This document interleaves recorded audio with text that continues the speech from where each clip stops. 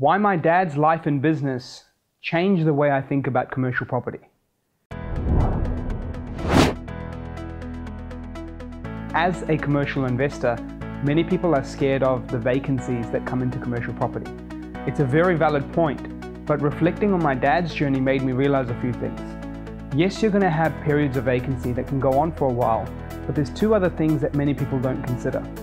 You'd be surprised at how much longer business owners stay at that one location versus a tenant for a residential property staying in that one location.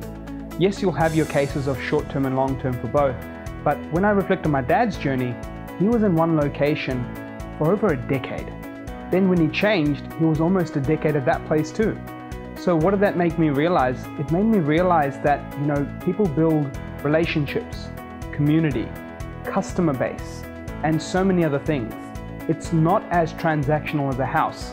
Oh look, I just need a quick upsize, not liking this area, changing. People don't react to it in the same way in the business world as they do in the residential world. And seeing my dad's journey really helped me reflect on that. So whilst yes, you've got long vacancies in commercial, you also have the flip side of annual increases in rent, long-term tenants, long-term relationships, reduced maintenance because a tenant is actually doing all this fix up for you. They want that business to be presentable. As a mechanical engineer, my dad wanted everything clean, the hoists, the, the transmission area, all the parts where the floors would be mopped.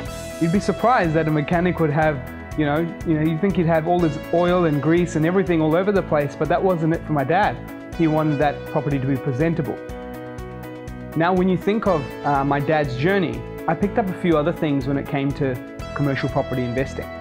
Now, the fact was that you know income continued to increase each year, and there wasn't as many comparables that you could look at because each business used their place so uniquely.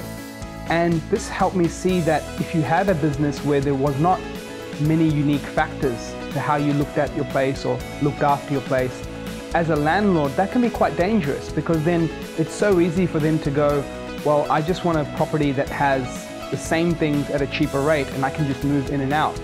Now, at that point, things get similar to residential. But my dad had set up expensive fit outs. He had a reception corner. He had um, an office for a waiting area.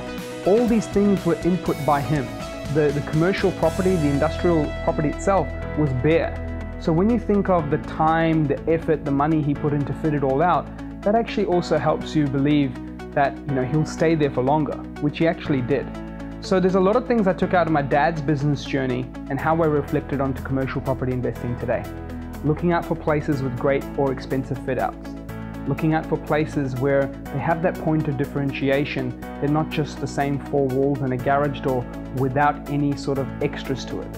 And aside from that, I also had faith in business owners, their ability to, you know, go through challenges, want to stick out for that long term, just as I'd seen my dad do growing up in you know, New Zealand uh, and going to his workshop every day after school.